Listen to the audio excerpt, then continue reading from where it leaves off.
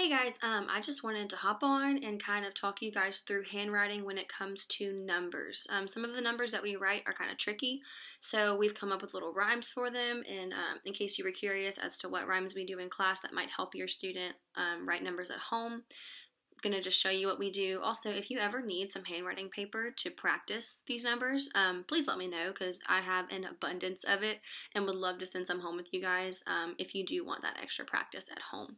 So um, I'm just going to walk you through the rhymes really quick. Um, and you use them as you want to. Your kids should know them. We go over them, most of them, pretty often in class. Um, the first one is for zero, and it says, Around and around and around we go. When we get home, we have a zero.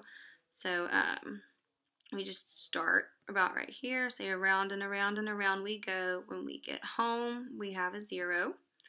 Um, for the number one, we just say straight line down.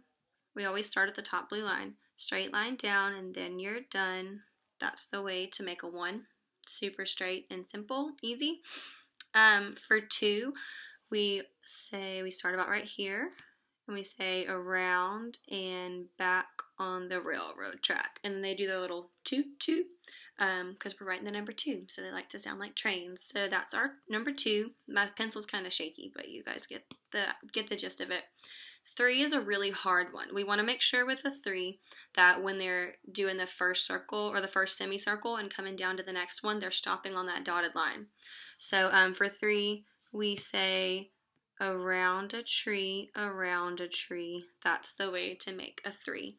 Um, and we just, like I said, we really emphasize that the middle of that three needs to rest on that dotted line in the middle.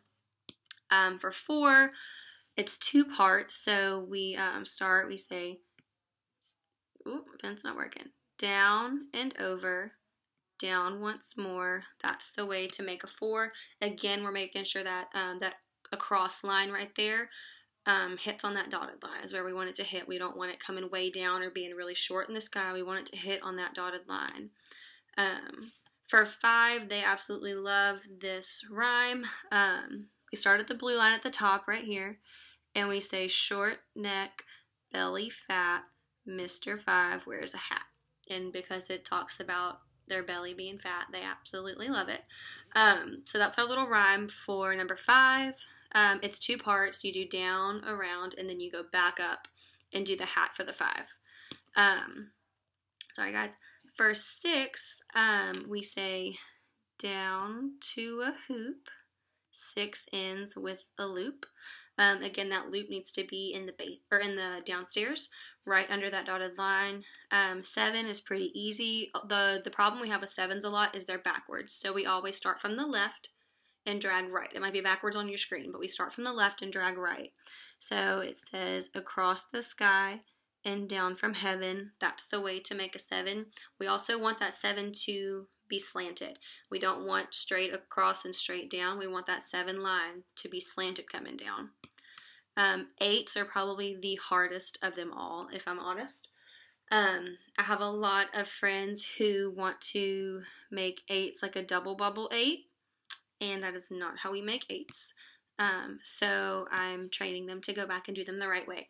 So with an eight, we just use what we already know with how to make an S. So we say make an S, then don't stop, go back up, make an eight at the top. We want to make that figure eight. We're not doing double bubble eights. We want to make that figure eight, and we want it to try and be as straight up and down as possible, not sideways. So that's a hard one that's going to take a lot of practice, but um, that is how we are grading them on writing eights. Um, double bubble eights aren't cutting it because that's not what our curriculum calls for.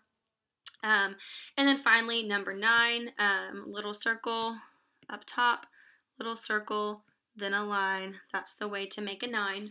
Um, again, we're making sure that circle is small and is upstairs. We don't want it coming down. We don't want it too big.